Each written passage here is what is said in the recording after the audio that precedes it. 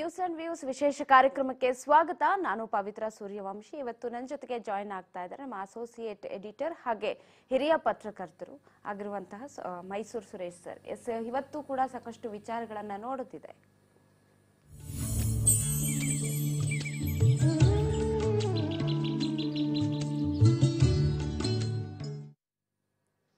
S ರಾಜ್ಯ ಮಟ್ಟದ ಪತ್ರಿಕೆಗಳಲ್ಲಿ ಏನೆಲ್ಲ ಹೆಡ್ಲೈನ್ಗಳು ಬಂದಿದೆ, ಯಾವುದಕ್ಕೆ ಹೆಚ್ಚಿನ ಒತ್ತನ್ನ ಕೊಟ್ಟಿದ್ದಾರೆ, ಜೊತೆಗೆ ವೀಕ್ಷಕರು ಯಾವುದನ್ನ ಹೆಚ್ಚಾಗಿ ನೋಡ್ತಾರೆ, ಎಷ್ಟು ಆಕರ್ಷಣೆ ಆಗುತ್ತೆ, ಸುದ್ದಿಗಳನ್ನೆಲ್ಲ ನೋಡಿ ಕೊಟ್ಟಿದ್ದಾರೆ. ಮೊದಲಿಗೆ ಯಾವುದರಲ್ಲಿ ಏನೆಲ್ಲ ಹೆಡ್ಲೈನ್ಸ್ಗಳಿದೆ ಅಂತ ನೋಡೋಣ. ಅದಕ್ಕೂ ಮೊದಲು ಈ ದಿನದ ಶುಭ ಸುದ್ದಿಯನ್ನ ನೋಡ್ಕೊಂಡು ಬರೋಣ. ಎಸ್, ನಗದು ಇಲ್ಲದವರು ಬಡವರಲ್ಲ, ಆದ್ರೆ ನಗದೇ ಬಾಳುವವರು ಖಂಡಿತ ಬಡವರೇ ಸರಿ. ಇದು ಈ ದಿನದ ಶುಭ ನುಡಿ. ಎಲ್ಲರೂ ಕೂಡ ನಗ್ನಗ್ತಾನೆ ಇರೋಣ ನಗ್ನಗ್ತಾನೆ ಜೀವನ ನಡೆಸೋಣ ಅಂತ. ಸರ್ ಇವತ್ತಿನ ಹೆಡ್ಲೈನ್ ಅನ್ನ ನೋಡ್ತಾ ಹೋಗೋಣ. ಮೊದಲನೇದಾಗಿ ಪ್ರಜಾವಾಣಿ. ಪ್ರಜಾವಾಣಿಯಲ್ಲಿ ರಾಜೀನಾಮೆಯನ್ನ ಈಶ್ವರಪ್ಪನವರು ಘೋಷಿಸಿದ್ದಾರೆ ಅನ್ನುವಂತಹ ಒಂದು ಹೆಡರ್ ಅನ್ನ ತೆಗೆದುಕೊಂಡಿದ್ದಾರೆ. ಇನ್ನ ವಿಜಯ ಕರ್ನಾಟಕದಲ್ಲಿ ನೋಡೋದಾದ್ರೆ ಸಚಿವ ಈಶ್ವರಪ್ಪ ಪದತ್ಯಾಗ ಅದರಲ್ಲೂ ಕೂಡ ಅವರು ಘೋಷಣೆ ಮಾಡಿರುವ ವಿಚಾರವನ್ನೇ ತೆಗೆದುಕೊಂಡಿದ್ದಾರೆ. ಇನ್ನು ಕನ್ನಡ ಪ್ರಭಾದಲ್ಲಿ ನೋಡೋದಾದ್ರೆ ಅಲ್ಲೂ ಕೂಡ ಈಶ್ವರಪ್ಪ ರಾಜೀನಾಮೆ ಅಂತಲೇ ಕೂಡ ಕೊಟ್ಟಿದ್ದಾರೆ. ಅವರು ಕೂಡ ಅದನ್ನೇ ಬರೆದಿದ್ದಾರೆ. ಇನ್ನು ವಿಜಯವಾಣಿಯಲ್ಲಿ ಮಂತ್ರಿಗಿರಿ ಕುಸಿದ ಗುತ್ತಿಗೆ ಕಸಿದಿದೆ ಗುತ್ತಿಗೆ ಅನ್ನುವಂತಹ ವಿಚಾರವನ್ನ ತೆಗೆದುಕೊಂಡಿದ್ದಾರೆ. ಅದ್ರ ಜೊತೆಗೆ ಉದಯವಾಣಿಯಲ್ಲೂ ಕೂಡ ಸೇಮ್ ಕೊಟ್ಟಿದ್ದಾರೆ ಸ್ವಲ್ಪ ಚೇಂಜ್ ಮಾಡಿದ್ದಾರೆ. ಗದ್ದುಗೆ ಕಸಿದ ಗುತ್ತಿಗೆ ಅಂತ. ಎಲ್ಲರೂ ಕೂಡ ಡಿಫ್ರೆಂಟ್ ಡಿಫ್ರೆಂಟ್ ಹೆಡರ್ ಅನ್ನ ಕೊಟ್ಟರು ಕೂಡ ಸರ್ ಎಲ್ಲದರಲ್ಲೂ ಕೂಡ ಸೇಮ್ ಇಶ್ಯೂನೇ. ಹೌದು ಪವಿತ್ರ ಗುಡ್ ಮಾರ್ನಿಂಗ್ ಏನು ನಿನ್ನೆಯಿಂದ ರಾಜ್ಯ ರಾಜ್ಯದಲ್ಲಿ ಬೆಳವಣಿಗೆ ನಡೀತಾ ಇದೆ ತಾವೆಲ್ಲ ನೋಡ್ತಿದ್ದೀರಾ? ಈಶ್ವರಪ್ಪ ಅವರ ಪ್ರಕರಣ ದಿನದಿಂದ ದಿನಕ್ಕೆ ತೀವ್ರಗೊಳ್ತಾನೆ ಇದೆ. ಏನು ಕಾಂಗ್ರೆಸ್ ಅವರು ಅವರ ರಾಜೀನಾಮೆಗೆ ಪಟ್ಟು ನೀಡಿ ಹಿಡಿದಿದ್ದು ನಿನ್ನೆಯಿಂದ ವಿಧಾನಸೌಧದ ಮುಂದೆ ಹೋದರಣಿ ನಡೆಸ್ತಾ ಇದ್ದಾರೆ. ಸೊ ಇದೆಲ್ಲರ ಬೆಳವಣಿಗೆ ಹಿನ್ನೆಲೆಯಲ್ಲಿ ಎಲ್ಲ ರಾಜ್ಯ ಮಟ್ಟದ ಪ್ರ ಪತ್ರಿಕೆಗಳು ಕೂಡ ಈಶ್ವರಪ್ಪ ಅವರ ರಾಜೀನಾಮೆ ಪ್ರಕರಣವನ್ನೇ ಮುಖ್ಯ ಸುದ್ದಿ ಮಾಡಿರೋಂಥದ್ದು ನಾವು ನೋಡಿದ್ವಿ. ಪ್ರಜಾವಾಣಿಯವರು ರಾಜೀನಾಮೆ ಘೋಷಿಸಿದ ಈಶ್ವರಪ್ಪ ವರಿಷ್ಠರ ನಿರ್ದೇಶನ ಬೆನ್ನಲ್ಲೇ ನಿಲುವು ಬದಲು ಅಂತ ಹೇಳಿದ್ರೆ ಏನು ಈಶ್ವರಪ್ಪ ಅವರು ರಾಜೀನಾಮೆ ಕೊಡಲ್ಲ? ನಾನು ನೋಡೋಣ ಅಂತ ಕಾದ್ ನೋಡ್ತಾ ಇದ್ರಲ್ಲ. ಸೊ ಏನು ವರಿಷ್ಠರು ಅವ್ರಿಗೆ ಇದು ಮಾಡಿದ್ರು ಅವರಿಗೆ ನಿರ್ಧಾರ ಕೊಟ್ಟಿದ್ದಾರೆ ಸೂಚನೆ ಕೊಟ್ಟಿದ್ದಾರೆ ಅದನ್ನು ಅನುಸರಿಸಿ ಈಶ್ವರಪ್ಪ ಅವರು ರಾಜೀನಾಮೆ ಕೊಟ್ಟಿದ್ದಾರೆ. ಸೊ ಈ ಈ ವಿಚಾರವನ್ನ ರಾಜೀನಾಮೆ ಘೋಷಿಸಿದ ಈಶ್ವರಪ್ಪ ಅನ್ನೋ ಹೆಡ್ಲೈನ್ ಅಲ್ಲಿ ಪ್ರಜಾವಾಣಿಯರು ತಗೊಂಡಿದ್ದಾರೆ. ಇನ್ನು ಮುಖ್ಯವಾಗಿ ವಿಶೇಷವಾಗಿ ಜನಪ್ರತಿನಿಧಿಗಳಿಗೆ ಈ ಪ್ರಕರಣನ ವರ್ಗಾವಣೆ ಆಗಿದೆ ಅನ್ನೋದನ್ನು ಇಲ್ಲಿ ಬರೆದಿದ್ದಾರೆ. ಬೆಂಗಳೂರಿನ ಜನಪ್ರತಿನಿಧಿಗಳ ನ್ಯಾಯಾಲಯಕ್ಕೆ ಈ ಪ್ರಕರಣನ ವರ್ಗಾಯಿಸಲಾಗಿದೆ. ಅಂತ ಇದರಲ್ಲಿ ಮೆನ್ಷನ್ ಮಾಡಿರೋದು ವಿಶೇಷವಾಗಿದೆ. ಇನ್ನು ಈ ಬಿ ಜೆ ಪಿ ಸರ್ಕಾರದಲ್ಲಿ ರಾಜೀನಾಮೆ ಕೊಟ್ಟಂತಹ ಮೂರನೇ ಸಚಿವರಾಗಿದ್ದಾರೆ ಈಶ್ವರಪ್ಪ ಅನ್ನೋರು ಕೂಡ ಅದನ್ನು ಅವರು ವಿಶೇಷವಾಗಿ ಗುರುತಿಸಿದ್ದಾರೆ. ಸೊ ಎರಡು ಸಾವಿರದ ಹತ್ತೊಂಬತ್ತರಲ್ಲಿ ಏನು ಭ್ರಷ್ಟಾಚಾರದ ಆರೋಪ ಹೋಯಿತು ಅಂದಿನ ಅಬಕಾರಿ ಸಚಿವರಾಗಿದ್ದಂತಹ ನಾಗೇಶ್ ಅವರು ಕೊಟ್ಟಿದ್ರು. ಅನಂತರ ಜಲಸಂಪನ್ಮೂಲ ಸಚಿವರು ರಾಜ ರಮೇಶ್ ಜಾರಕಿಹೊಳಿ ಅವರು ಎರಡು ಸಾವಿರದ ಇಪ್ಪತ್ತೊಂದರಲ್ಲಿ ಕೊಟ್ಟಿದ್ರು. ತದನಂತರದಲ್ಲಿ ಈಶ್ವರಪ್ಪ ಅವರು ಮೂರನೇ ಸಚಿವರು. ಅಂದ್ರೆ ಈ ಸರ್ಕಾರದಲ್ಲಿ ಇದು ಮೂರನೇ ಬಲಿ ಅನ್ನೋ ಅರ್ಥದಲ್ಲಿ ಇವರು ಬರೆದಿದ್ದಾರೆ. ಇನ್ನು ಕನ್ನಡ ಪ್ರಭಾವವನ್ನು ತೆಗೆದುಕೊಂಡ್ರೆ ಈಶ್ವರಪ್ಪ ರಾಜೀನಾಮೆ. ಸೊ ಎಲ್ಲಾ ಒತ್ತಡದ ಹಿನ್ನೆಲೆಯಲ್ಲಿ ಈಶ್ವರಪ್ಪ ಅವರು ರಾಜೀನಾಮೆ ಕೊಟ್ಟಿದ್ದಾರೆ. ಇದು ಅಲ್ಲಿ ಏನು ಹೇಳಿದ್ದಾರೆ ಅನ್ನೋದಲ್ಲಿ ಹೇಳಿದ್ದಾರೆ. ಪಕ್ಷದಲ್ಲಿರುವಂತಹ ಏನು ಪಕ್ಷದವರಿಗೆ ಮುಜುಗರ ಆಗಬಾರದು? ಸೊ ಅದು ಈ ನನ್ನಿಂದ ಪಕ್ಷದವರಿಗೆ ಮುಜುಗರ ಆಗಬಾರದು ಅನ್ನೋ ನಿರ್ಧಾರ ತಗೊಂಡು ನಾನು ರಾಜೀನಾಮೆ ಕೊಟ್ಟಿದ್ದೀನಿ ಅನ್ನೋ ವಿಚಾರನ ಇವರು ಈ ಕನ್ನಡ ಎನ್ಲೈಟ್ ಮಾಡಿದ್ದಾರೆ. ಅದಲ್ಲದೆ ಇಂದು ಸಿ ಎಂಗೆ ತ್ಯಾಗಪತ್ರವನ್ನು ನೀಡ್ತೀನಿ. ಪತ್ರಿಕಾಗೋಷ್ಠಿ ನಡೆಸಿ ಶಿವಮೊಗ್ಗದಲ್ಲಿ ಈಶ್ವರಪ್ಪ ಅವರು ರಾಜೀನಾಮೆ ಘೋಷಣೆ ಮಾಡಿದ್ರು ನಿನ್ನೆ. ಆದರೆ ಅವ್ರು ಇನ್ನೂ ಕೊಟ್ಟಿಲ್ಲ. ಸೊ ಹಿಂದು ಸಿಎಂನ ಭೇಟಿ ಮಾಡಿ ನಮ್ಮ ರಾಜೀನಾಮೆ ಪತ್ರವನ್ನ ಕೊಡ್ತೀವಿ ಅನ್ನೋ ವಿಚಾರವನ್ನು ಕನ್ನಡಪ್ರಭದಲ್ಲೂ ಕೂಡ ಸ್ಪಷ್ಟವಾಗಿ ಹೇಳಿದ್ದಾರೆ.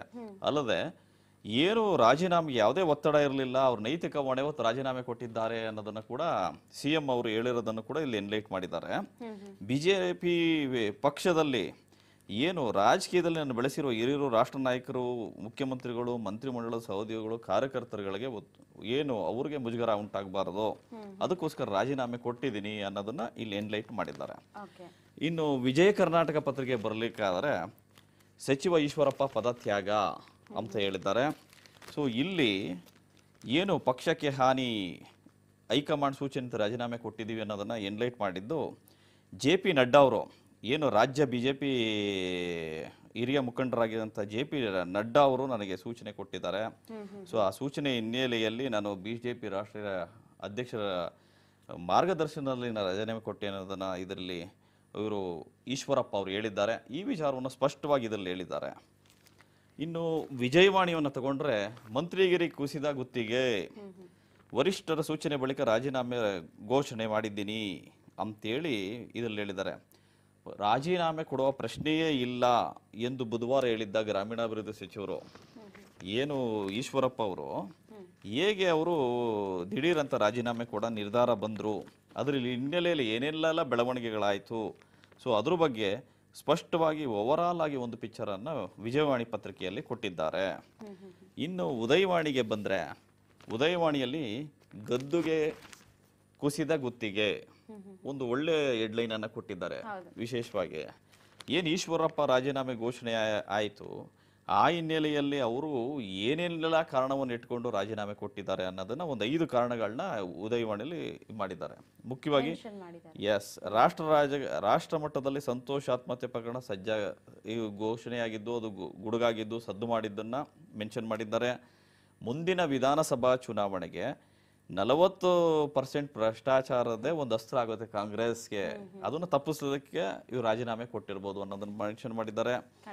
ಇನ್ನು ಪಂಚರಾಜ್ಯದ ಬಳಿಕ ಭಾರತೀಯ ಜನತಾ ಪಾರ್ಟಿಗೆ ಏನು ರಾಜ್ಯ ಮಟ್ಟದಲ್ಲಿ ಒಂದು ವರ್ಚಸ್ಸಿತ್ತು. ಅದಕ್ಕೆ ಅಭಿಪ್ರಾಯ ಬದಲಾಗಬಾರದು ಜನಗಳಲ್ಲಿ ಅನ್ನೋ ವಿಚಾರವನ್ನ ಕೂಡ ಗಮನದಲ್ಲಿಟ್ಟುಕೊಂಡು ಇವರು ರಾಜೀನಾಮೆ ಕೊಟ್ಟಿದ್ದಾರೆ. ಇದು ನನ್ನ ವರ್ಚಸ್ಸಿಗೆ ಧಕ್ಕೆ ಆಗಬಾರದು ಅನ್ನೋ ವಿಚಾರ. ಇನ್ನು ಕಾಂಗ್ರೆಸ್ ಪ್ರತಿಭಟನೆ ತೀವ್ರಗೊಳಿಸಿದರೆ ಪಕ್ಷಕ್ಕೆ ಇಮೇಜ್ ಇದಾಗುತ್ತೆ ಧಕ್ಕೆ ಆಗುತ್ತೆ ಅನ್ನೋ ಒಂದು ವಿಚಾರ. ಸೊ ಇನ್ನು ಖುದ್ದು ಗುತ್ತಿಗೆದಾರರ ಸ ಅಧ್ಯಕ್ಷರಿಂದನೇ ನಲ್ವತ್ತು ಪರ್ಸೆಂಟ್ ಆರೋಪ ಏನು ಬಂತು? ಏನು ಕೆಂಪಣ್ಣ ಅವರು ಮೊನ್ನೆ ಪತ್ರಿಕಾಗೋಷ್ಠಿ ಮಾಡಿ ರಾಜ್ಯದಲ್ಲಿ ಎಲ್ಲ ಗುತ್ತಿಗೆದಾರರು ಸ ಪ- ಪಡುವಂತಹ ಪ- ಪಡ್ತಾ ಇರುವಂತಹ ಏನು ಸಮಸ್ಯೆಗಳಿದೆ ಅವ್ರು ಎದುರಿಸ್ತಾ ಇರೋ ಸಮಸ್ಯೆಗಳಿದೆ ಅದ್ರ ಬಗ್ಗೆ ಸ್ಪಷ್ಟವಾಗಿ ವಿವರಣೆ ಕೊಟ್ಟಿದ್ರು. ಸೊ ಈ ಐದೂ ಕಾರಣಗಳು ಕೂಡ ಈಶ್ವರಪ್ಪ ಅವರು ರಾಜೀನಾಮೆ ಕೊಡಲಿಕ್ಕೆ ಒಂದು ಕಾರಣ ಅನ್ನೋದನ್ನ ಉದಯವಾಣಿಯಲ್ಲಿ ಸ್ಪಷ್ಟವಾಗಿ ಹೇಳಿದ್ದಾರೆ. ಸೊ ಇನ್ನೂ ಒಂದು ಮಾತು ಈಶ್ವರಪ್ಪ ಅವರು ಹೇಳಿದ್ದಾರೆ ನಾನೇ ರಾಜೀನಾಮೆ ಕೊಟ್ಟಿದ್ದೀನಿ. ದೇವರು ಚೌಡೇಶ್ವರಿ ಅವರು ಶಿಕ್ಷೆ ಕೊಡ್ಲಿ ಯಾರಿಗೆ ನನಗೆ ಒತ್ತಡ ಏರಿದರು ಅನ್ನೋ ವಿಚಾರ ಕೂಡ ಈ ಪತ್ರಿಕೆಯಲ್ಲಿ ಹಾಕಿದ್ದಾರೆ. ಸೊ ಓವರಾಲ್ ಆಗಿ ರಾಜ್ಯದ ಪ್ರಮುಖ ಪತ್ರಿಕೆಗಳಲ್ಲಿ ಇವತ್ತು ಈಶ್ವರಪ್ಪ ಅವರು ರಾಜೀನಾಮೆ ಕೊಟ್ಟಿರೋಂಥದ್ದು ಎಲ್ಲ ಸುದ್ದಿಯಾಗಿದೆ ಮುಖಪುಟದಲ್ಲಿ ಸುದ್ದಿಯಾಗಿದೆ ಪವಿತ್ರ. ಅಂದ್ರೆ ಈಗ ನ್ಯೂಸ್ ಪೇಪರ್ನಲ್ಲಿ ಈಗ ನಾವೆಲ್ಲರೂ ಕೂಡ ಸಡನ್ ಆಗಿ ನೋಡಿದ ತಕ್ಷಣ ನಮಗೆ ಆಕರ್ಷಣೆ ಆಗ್ಬೇಕು ಯಾವ ವಿಚಾರ? ಯಾಕಂದ್ರೆ ಟಕ್ಕಂತ ಈಗ ನಾವು ಹೇಳ್ತಾ ಇದ್ವಿ ಈಗ ವಿಜಯವಾಣಿನೇ ಎಕ್ಸಾಂಪಲ್ ನೋಡೋದಾದ್ರೆ ಮಂತ್ರಿಗಿರಿ ಕಸಿದ ಗುತ್ತಿಗೆ ಅಂತ ಹಾಕಿದ್ದಾರೆ ಉದಯವಾಣಿಯಲ್ಲಿ ಗದ್ದುಗೆ ಕಸಿದ ಗುತ್ತಿಗೆ ಅಂತ ಹಾಕಿದ್ದಾರೆ. ಅಂದ್ರೆ ಯಾವ ರೀತಿ ಜನರಿಗೆ ಕ್ಯಾಚ್ ಆಗತ್ತೆ ವಿಚಾರಗಳು ಯಾವುದನ್ನ ಬೇಗ ತಲುಪಿಸಬಹುದು ವ್ಯೂಸ್ ಯಾವ್ದ್ರಿಂದ ಬರುತ್ತೆ ಅನ್ನೋದ್ರ ಅದನ್ನ ನೋಡ್ಕೊಂಡು ಒಂದು ಅಳತೆ ಮೇರೆಗೆ ಮಾಡ್ತಾರೆ ಹೆಡ್ಲೈನ್ಸ್ ಹಾಗಾದ್ರೆ. ಹೌದು. ಏನು ಒಂದು ವಿಚಾರ ಇದೆ. ಓವರ್ ಆಲ್ ಪ್ರಕರಣ ಏನಿದೆ ಇದು ನೀವು ಕಳೆದ ಎರಡು ಮೂರು ದಿನದಿಂದ ಕಂಟಿನ್ಯೂಸ್ ನಡೀತಾ ಇದೆ. ಈಶ್ವರಪ್ಪ ಅವರ ಪ್ರಕರಣದಲ್ಲಿ ಈಶ್ವರಪ್ಪ ಅವರು ರಾಜೀನಾಮೆ ಕೊಟ್ಟಿರುವಂತ ಒಂದು ವಿಚಾರ ಎಲ್ಲರಿಗೂ ಗೊತ್ತಿರೋ ವಿಚಾರ. ಅದು ಅದನ್ನ ನೀವು ಹೇಗೆ ಪ್ರಸ್ತುತ ಪಡಿಸ್ತೀರಾ ಅದನ್ನ ಒಂದು ಹೆಡ್ಲೈನ್ ಆಗಿ ನೀವು ಕೊಟ್ಟಂತಹ ವಿಚಾರಗಳು ಓರಣ ಏನಿರುತ್ತೆ ಅದು ಇದರಲ್ಲಿ ಸ್ಪಷ್ಟವಾಗಿ ಹೇಳಂತ ಪ್ರಯತ್ನಗಳು ಪ್ರತಿಯೊಂದು ಪತ್ರಿಕೆಗಳು ಮಾಡುತ್ತೆ. ಸೊ ಅದರಲ್ಲಿ ಹೊಸ ಹೊಸ ಪ್ರಯೋಗಗಳು ನಡೀತಾನೆ ಇರುತ್ತೆ. ಸೊ ಇದನ್ನ ನಾವು ಇಲ್ಲಿ ಕಾಣ್ಬೋದು ಪವಿತ್ರ. ಇನ್ನು ಈ ದಿನದ ವಿಶೇಷ ಸುದ್ದಿಗಳಿಗೆ ಗಮನ ಹರಿಸೋದಾದ್ರೆ K G F K G F ಬಗ್ಗೆ ಒಂದು ನೆತ್ತರಲ್ಲಿ ಬರೆದ ಸುವರ್ಣ ಯುಗದ ಚರಿತ್ರೆ ಅನ್ನೋವಂಥ ಅನ್ನೋ ಒಂದು ಹೆಡ್ಲೈನ್ ತಗೊಂಡು ಏನು ನಿನ್ನೆ ಕೆ ಜಿ ಎಫ್ ಚಿತ್ರ ರಾಜ್ಯಾದ್ಯಂತ ಬಿಡುಗಡೆ ಆಯಿತು. ಇದ್ರ ಬಗ್ಗೆ ಎಲ್ಲ ಪತ್ರಿಕೆಗಳು ಆಲ್ಮೋಸ್ಟ್ ಬರೆದಿದೆ. ಏನು ನೆತ್ತರಲ್ಲಿ ಬರೆದ ಸುವರ್ಣ ಯುಗದ ಚರಿತ್ರೆ ಅಂತೇಳಿ ಕನ್ನಡ ಪ್ರಭದವ್ರು ಬರೆದಿದ್ದಾರೆ ಇದಲ್ದೇನೆ ಪ್ರತಿಯೊಂದು ಪತ್ರಿಕೆಗಳು ಅವರವರದೇ ವಿಶ್ಲೇಷಣೆ ಮಾಡಿದ್ದಾರೆ. ನಿನ್ನೆ ಬಿಡುಗಡೆಯಾದಂತಹ ಕೆ ಜಿ ಎಫ್ ಸುಮಾರು ಕರ್ನಾಟಕದ ಎರಡು ಸಾವಿರದ ಐನೂರು ಪ್ರದರ್ಶನ ಕರ್ನಾಟಕದಲ್ಲಿ ಕಂಡಿದೆ. ಓವರಾಲ್ ಓವರ್ ಆಲ್ ಭಾರತ ಸೇರಿದಂತೆ ಅಮೆರಿಕ ಸೇರಿದಂತೆ ವಿಶ್ವದ ನಾನಾ ಕಡೆಗಳಲ್ಲಿ ಸುಮಾರು ಹತ್ತು ಸಾವಿರ ಚಿತ್ರಮಂದಿರಗಳಲ್ಲಿ ಬಿಡುಗಡೆ ಕಂಡಿದೆ. ಸೊ ಹತ್ತು ಸಾವಿರ ಚಿತ್ರಮಂದಿರಗಳಲ್ಲಿ ಬಿಡುಗಡೆ ಕಟ್ಟಂತಹ ಕೆ ಜಿ ಎಫ್ ಮೊದಲನೇ ದಿನನೇ ಸುಮಾರು ಇನ್ನೂರ ಐವತ್ತು ಕೋಟಿ ರೂಪಾಯಿಗಳ ಕ್ಲಬ್ಗೆ ಸೇರಿದೆ ಕಲೆಕ್ಷನ್ನ ದಾಖಲೆ ಮಾಡಿದೆ. ಬಾಕ್ಸ್ ಆಫೀಸ್ ಲೂಟಿ ಹಾಗ ಎಸ್ ಸೊ ಚಿತ್ರರಂಗದಲ್ಲಿ ಇದೊಂದು ಹೊಸ ಇತಿಹಾಸ ಸೃಷ್ಟಿ ಮಾಡಿದೆ.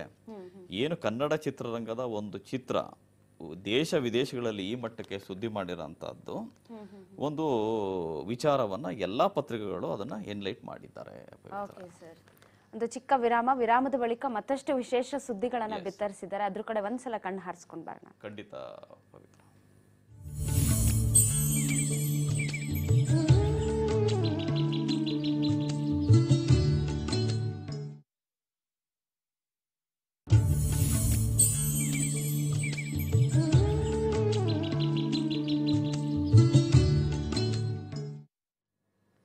ಬ್ರೇಕ್ ಆದ್ಮೇಲೆ ನ್ಯೂಸ್ ಅಂಡ್ ವ್ಯೂಸ್ ವಿಶೇಷ ಕಾರ್ಯಕ್ರಮಕ್ಕೆ ಮತ್ತೊಮ್ಮೆ ಸ್ವಾಗತ. ವಿಶೇಷ ಸುದ್ದಿಗಳು ರಾಜ್ಯ ಮಟ್ಟದ ಪತ್ರಿಕೆಗಳಲ್ಲಿ ಏನೆಲ್ಲ ಇದೆ ಅಂತ ಹೇಳ್ತಾ ಇದ್ವಿ. ಈಗಾಗ್ಲೇ ನಾವು ಸಾಕಷ್ಟು ಜನ ಅನ್ಕೊಳ್ತಾ ಇರೋದು, ಈಗಾಗಲೇ ಮಳೆ ಶುರುವಾಗಿದೆ. ಯಾವ ರೀತಿ ಅಂದ್ರೆ ಮಳೆಗಾಲ ಬರ್ತಿದೆಯಾ ಅನ್ನೋ ರೀತಿ ಮಳೆ ಅಬ್ಬರಿಸ್ತಾ ಇರೋದು. ಅದನ್ನು ಕೂಡ ಕೊಟ್ಟಿದ್ದಾರೆ. ಸತತ ಎರಡನೇ ದಿನವೂ ಕೂಡ ರಾಜಧಾನಿಯಲ್ಲಿ ಧಾರಾಕಾರ ಮಳೆ ಅಂತ. ಕೇವಲ ರಾಜಧಾನಿ ಮಾತ್ರ ಅಲ್ಲ, ಇಡೀ ರಾಜ್ಯದಾದ್ಯಂತ ಕೂಡ ಸಿಕ್ಕಾಪಟ್ಟೆ ಮಳೆ ಆಗ್ತಾ ಇದೆ. ಈಗಾಗಲೇ ಅರವತ್ತಕ್ಕೂ ಹೆಚ್ಚು ಮಿಲಿಮೀಟರ್ ಮಳೆ ದಾಖಲೆಯಾಗಿದೆ. ಇನ್ನು ಹವಾಮಾನ ಇಲಾಖೆ ಹೇಳ್ತಾ ಇರೋದು, ಇನ್ನು ಕೂಡ ಒಂದಷ್ಟು ದಿನಗಳ ಕಾಲ ಗುಡುಗು ಸಹಿತ ಮಳೆ ಆಗತ್ತೆ, ಭಾರಿ ಗಾಳಿ ಬರುತ್ತೆ ಅಂತ ಹಾಗಾದ್ರೆ ನಿನ್ನೆ ಯಾವ ರೀತಿ ಮಳೆ ಆಯ್ತು, ಎಲ್ಲೆಲ್ಲಿ ಮಳೆ ಆಯ್ತು ಅಂತ ನೋಡೋದಾದ್ರೆ ಈಗಾಗಲೇ ಬೆಂಗಳೂರಿನ ಸಾಕಷ್ಟು ಕಡೆಗಳಲ್ಲಿ ರಾಜಾಜಿನಗರ ಇರ್ಬೋದು, Vidyaranyapuram, Malleshwaram H S R layout ಎಲ್ಲಾ ಬಡಾವಣೆಗಳು ಕೂಡ ಜಲಾವೃತ ಆಗಿತ್ತು.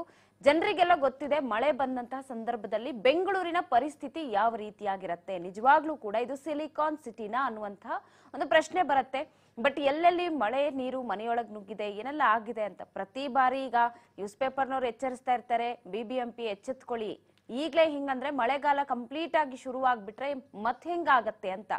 ಆದ್ರೂ ಕೂಡ ಯಾವ ಅಧಿಕಾರಿಗಳು ಕೇರ್ ತಗೊಳ್ಳಲ್ಲ ಈಗಾಗಲೇ ಇಬ್ರು ಇದರಿಂದ ಬಲಿಯಾಗಿದ್ದಾರೆ ಅನ್ನುವಂತಹ ಮಾಹಿತಿ ಕೂಡ ಇದೆ. ಮಳೆಯಿಂದಾಗಿ ಕೇವಲ ಈಗ ಶುರುವಾಗಿರೋದಷ್ಟೇ.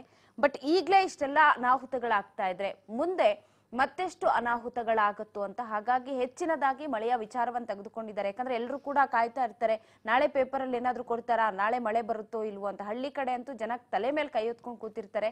ಬೇಕಂದಾಗ ಮಳೆ ಬರಲ್ಲ ಬೇಡ ಅಂದಾಗ ಬೇಕಾಬಿಟ್ಟು ಮಳೆ ಬರುತ್ತೆ ಅಂತ.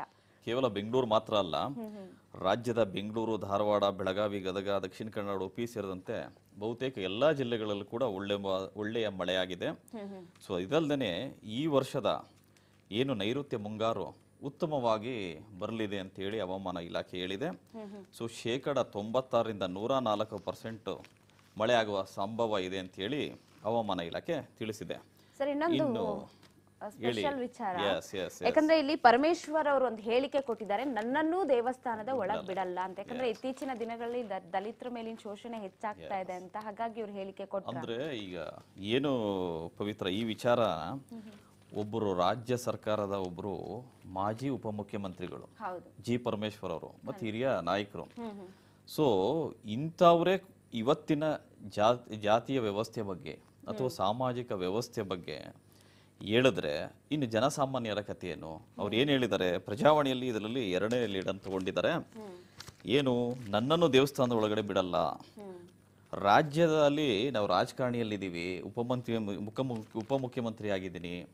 ಕೆಲಸ ಮಾಡಿದ್ದೀನಿ ರಾಜಕೀಯವಾಗಿ ನಮಗೆಲ್ಲ ಇದೆ. ಆದರೂ ಕೂಡ ನನ್ನಂತಹ ಒಬ್ಬ ದಲಿತ ನಾಯಕನಿಗೆ ದೇವಸ್ಥಾನಕ್ಕೆ ಒಳಗಡೆ ಬಿಡಲ್ಲ ಇಲ್ಲಿ ನಿಂತ್ಕೊಳ್ಳಿ ಮಂಗಳಾರತಿ ತಂದು ಕೊಡ್ತೀನಿ ಅನ್ನೋ ವ್ಯವಸ್ಥೆಯಲ್ಲಿ ಇದೀವಲ್ಲ? ಇದು ಇವತ್ತು ನಾವು ನೋಡ್ತಾ ಇದ್ದೀವಿ. ಜನಗಳು ಇವತ್ತು ಕೂಡ ಜಾತಿ ಪದ್ಧತಿಯನ್ನು ಅನುಸರಿಸ್ತಾ ಇದ್ದಾರೆ ಅನ್ನೋ ವಿಚಾರನ ನಿನ್ನೆ ಅಂಬೇಡ್ಕರ್ ಜಯಂತಿ ದಿನ ಅವರು ಬಾಪ ಹೇಳ್ಕೊಂಡಿದ್ದಾರೆ. ಸೊ ಇದ್ರ ಬಗ್ಗೆ ಪ್ರಜಾವಾಣಿಯವರು ಎರಡನೇ ಲೀಡಿನ ಸುದ್ದಿ ಮಾಡಿದ್ದಾರೆ. ಅಂದ್ರೆ ಇವತ್ತು ಕೂಡ ಜಾತಿ ವ್ಯವಸ್ಥೆ ಇಷ್ಟೊಂದು ಬಲವಾಗಿದೆಯಾ ಅನ್ನೋದು ಒಂದು ಪ್ರಶ್ನೆ ನಮಗೆ ಕಾಡುತ್ತೆ ಪವಿತ್ರ ಅವರು. ಇನ್ನೊಂದು ಕಡೆ ಸರ್ ಸಾಕಷ್ಟು ಜನರಿಗೆ ಇರುವಂತಹ ಕುತೂಹಲ ಸಂಪುಟ ಪುನರಚನೆ ಆಗತ್ತಾ ವಿಸ್ತರಣೆ ಆಗತ್ತಾ ಅಂತ ಅದಕ್ಕೂ ಕೂಡ ಕನ್ನಡ ಪ್ರಭದವರು ಒತ್ತು ಕೊಟ್ಟಿದ್ದಾರೆ ಅದಕ್ಕೂ ಕೂಡ ಒಂದು ಕಾಲಂ ಬರ್ದಿದ್ದಾರೆ. ಯಾಕಂದ್ರೆ ಎಲ್ರಿಗೂ ಕೂಡ ಕಾಡ್ತಾ ಇರೋದು. ಸಾಕಷ್ಟು ಜನ ಆಕಾಂಕ್ಷಿಗಳಿದ್ದಾರೆ. ಈಗ ಬೇರೆ ಈಶ್ವರಪ್ಪನವರು ರಾಜೀನಾಮೆ ಘೋಷಿಸಿದ್ದಾರೆ. ನಮಗೊಂದು ಸೀಟ್ ಸಿಕ್ತು ಅನ್ನೋ ಖುಷಿಯಲ್ಲಿ ಇರ್ತಾರೆ ಹಾಗಾದ್ರೆ ಅಂತ. ಹೌದು ಪವಿತ್ರ. ಏನು ರಾಜ್ಯದ ಸಚಿವ ಸಂಪುಟದ ಪುನರ್ರಚನೆ ಅಥವಾ ವಿಸ್ತರಣೆ ಬಗ್ಗೆ ಕಳೆದ ಒಂದು ತಿಂಗಳು ಏನು ಅಧಿವೇಶನ ನಡೆದ ನಂತರ ನಿರಂತರವಾಗಿ ಚರ್ಚೆ ನಡೀತಾ ಇತ್ತು. ಸೊ ಈಗ ಮತ್ತೆ ಅದಕ್ಕೆ ಇವ ಮತ್ತೆ ಚಾಲನೆ ಸಿಕ್ಕಿದೆ. ಏಪ್ರಿಲ್ ಇಪ್ಪತ್ನಾಲ್ಕು ಅಥವಾ ಇಪ್ಪತ್ತೈದರ ನಂತರ ಪ- ಸಂಪುಟ ಪುನರ್ರಚನೆ ಆಗುತ್ತೆ. ಆಗುತ್ತೆ ಅಥವಾ ಆಗುತ್ತಾ ಅನ್ನೋ ಕ್ವಶನ್ ಮಾರ್ಕ್ ಹಾಕಿ ಏನು ಕಾರ್ಯಕಾರಣಿ ಸಭೆ ನಡೀತದೆ? ಇದೇ ಶನಿವಾರ ಮತ್ತು ಭಾನುವಾರ ವಿಜಯನಗರ ಜಿಲ್ಲೆಯಲ್ಲಿ ಬಿಜೆಪಿ ಕಾರ್ಯಕಾರಿಣಿ ಸಭೆ ನಡೀತಾ ಇದೆ. ಹೈಕಮಾಂಡ್ ಅವರು ಬರ್ತಾ ಇದ್ದಾರೆ. ಬಿಜೆಪಿ ಹಿರಿಯ ನಾಯಕರು ಅದರಲ್ಲೂ ಒಂದು ನಿರ್ಧಾರ ತಗೊಳ್ತಾರೆ.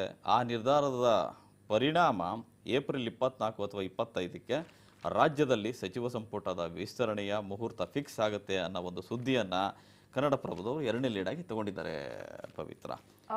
ಇನ್ನು ವಿಶೇಷವಾದ ಮತ್ತೊಂದು ಸುದ್ದಿಯನ್ನು ನೋಡೋದಾದ್ರೆ ವಿಜಯ ಕರ್ನಾಟಕದವರು ಈ ಕೋವಿಡ್ ಬಗ್ಗೆ ಮಕ್ಕಳಿಗೆ ಲಸಿಕೆ ಕೊಡೋದ್ರ ವಿಚಾರವಾಗಿ ಮಾಡಿದ್ದಾರೆ. ಏನು ಕೋವಿಡ್ ಈಗ ಮುಗ್ದೇ ಹೋಯ್ತು ಮಾಸ್ಕ್ ಆಗ್ತಾ ಇಲ್ಲ ಜನ ಆರಾಮಾಗಿ ಓಡಾಡ್ತಾ ಇದ್ದಾರೆ ಬೂಸ್ಟರ್ ಡೋಸ್ ಹಾಕ್ಸ್ಕೊಂಡಿದಾರೋ ಇಲ್ವೋ ಗೊತ್ತಿಲ್ಲ. ಇಂಥ ಸಂದರ್ಭದಲ್ಲಿ ಮಕ್ಕಳುಗಳಿಗೆ ಎಲ್ಲಿ ಡೋಸ್ ಹಾಕ್ಸ್ತಾ ಇದ್ದಾರೆ? ಈ ವಿಚಾರವನ್ನ ಇಟ್ಕೊಂಡು ಮಕ್ಕಳುಗಳಿಗೆ ಡೋಸ್ ಹಾಕ್ಸ್ಬೇಕು ಅಂತೇಳಿ ಎಚ್ಚರಿಕೆ ಕೊಡೋ ನಿಟ್ಟಿನಲ್ಲಿ ವಿಜಯ ಕರ್ನಾಟಕದವರು ಒಂದು ಸುದ್ದಿ ಬರೆದಿದ್ದಾರೆ. ಸುಮಾರು ನಲವತ್ತೆರಡು ಸಾವಿರ ಡೋಸ್ ಇಲ್ಲಿ ತನಕ ವ್ಯರ್ಥ ಆಗಿದೆ ಅನ್ನೋದನ್ನ ಅವರು ಎನ್ಲೈಟ್ ಮಾಡಿದ್ದಾರೆ. ಎಲ್ಲ ಪೋಷಕರು ತಮ್ಮ ಮಕ್ಕಳುಗಳಿಗೆ ಲಸಿಕೆ ಹಾಕ್ಸ್ಲಿ ಅಂತ ಹೇಳ್ತಾ ನಾವು ಕೂಡ ಅವ್ರಿಗೆ ಆಗ್ರಹ ಮಾಡ್ತಾ ಇದ್ದೀವಿ. ಓಕೆ. ಇನ್ನು ಸಂಪಾದಕೀಯದಲ್ಲಿ ಯಾವುದಕ್ಕೆ ಒತ್ತು ಕೊಟ್ಟಿದ್ದಾರೆ? ಇವತ್ತು ಯಾವ ವಿಚಾರವನ್ನ ವಿಶ್ಲೇಷಿಸಿದ್ದಾರೆ ಅನ್ನೋದ್ರ ಬಗ್ಗೆ ಕಣ್ಣಾಡಿಸ್ತೀವಿ. ಅದಕ್ಕೂ ಮೊದಲು ಚಿಕ್ಕದೊಂದು ವಿರಾಮ.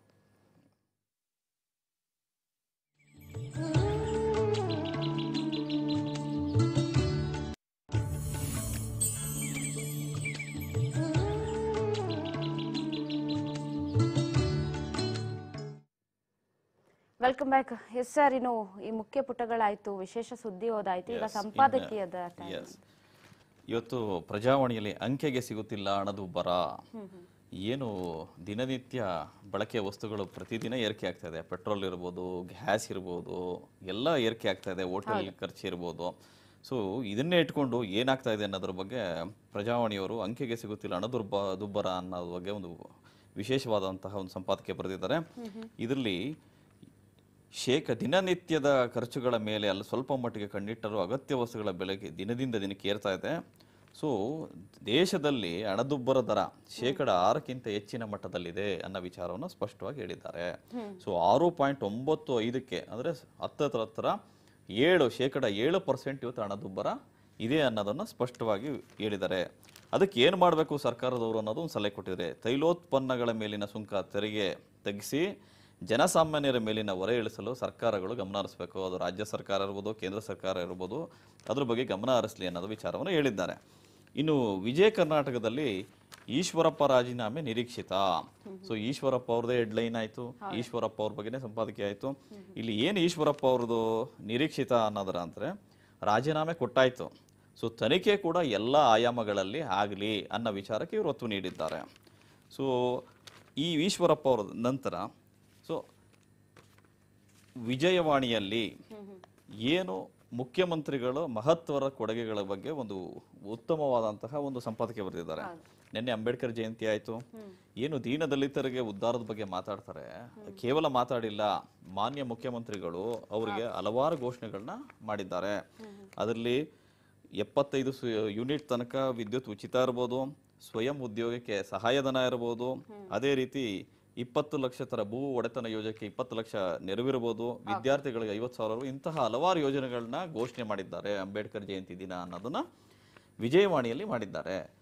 ಈ ರೀತಿ ಹಲವಾರು ಸಂಪಾದಕಿಗಳನ್ನು ವಿವಿಧ ಪತ್ರಿಕೆಗಳಲ್ಲಿ ನಾವು ಕಾಣಬಹುದು ಪವಿತ್ರ. ಪ್ರತಿದಿನ ಕೂಡ ಅಂತ. Okay. Thank you sir thank you Pavitra. Yes ವೀಕ್ಷಕರೇ ನೋಡಿದ್ರೆ ಇವತ್ತಿನ ರಾಜ್ಯ ಮಟ್ಟದ ಒಂದು ಪೇಪರ್ಸ್ಗಳಲ್ಲಿ ಏನೆಲ್ಲ ಹೆಡ್ಲೈನ್ಸ್ ಕೊಟ್ಟಿದ್ದಾರೆ ಯಾವುದಕ್ಕೆ ಹೆಚ್ಚು ಒತ್ತು ಕೊಟ್ಟಿದ್ದಾರೆ ಅಂತ ಎಲ್ಲರೂ ಕೂಡ ಕ್ಯೂರಿಯಾಸಿಟಿಯಿಂದ ಕಾಯ್ತಾ ಇದ್ವಿ. ಈಶ್ವರಪ್ಪನವರ ವಿಚಾರದಲ್ಲಿ ಏನಾಗುತ್ತೆ ಏನು ತಿರುವು ಪಡೆದುಕೊಳ್ಳುತ್ತೆ ಅಂತ ಎಲ್ಲದಕ್ಕೂ ಕೂಡ ಒಂದು ಕ್ಲಾರಿಫಿಕೇಶನ್ ಅನ್ನ ಕೊಟ್ಟಿದ್ದಾರೆ. ಇದಾಗಿತ್ತು ಈ ಹೊತ್ತಿನ ವಿಶೇಷ ಕಾರ್ಯಕ್ರಮ. ನೋಡ್ತಾ ಇರಿ ರಾಜ್ ನ್ಯೂಸ್ ಕನ್ನಡ ಇದು ಕನ್ನಡಿಗರ ಧ್ವನಿ.